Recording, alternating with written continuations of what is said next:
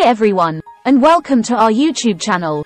Today, we are diving into the world of Barbie with a review of the highly anticipated Barbie 2023 movie. This latest installment in the iconic franchise has generated a lot of buzz, but like any film, it has its ups and downs. Let's take a closer look at the positives and negatives of Barbie 2023. Positives. Representation and diversity.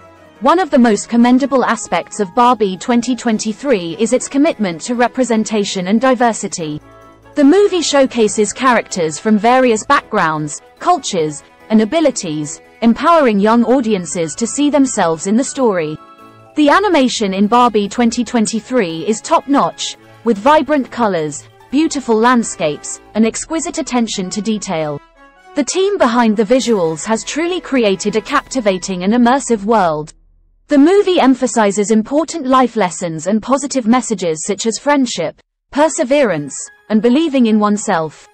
These valuable messages provide excellent teachable moments for kids and parents alike. Negatives. While the movie has a compelling storyline, some viewers may find that certain parts drag on, leading to occasional pacing issues that may dampen the overall experience. Unfortunately, Barbie 2023 follows a somewhat predictable plotline, making it less engaging for older audiences who may be seeking more complexity in the narrative.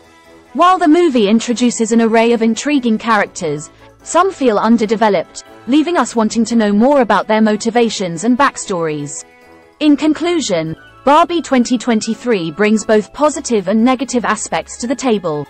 Its dedication to representation, stunning animation, and positive messages make it a worthy addition to the franchise. However, pacing issues, a predictable plot, and underdeveloped characters may hinder its appeal to some viewers. Nevertheless, Barbie 2023 remains a delightful choice for family entertainment, especially for young children who will undoubtedly be enchanted by the magical world of Barbie. Thank you for joining Infinity Review. And don't forget to hit that like button and subscribe for more content.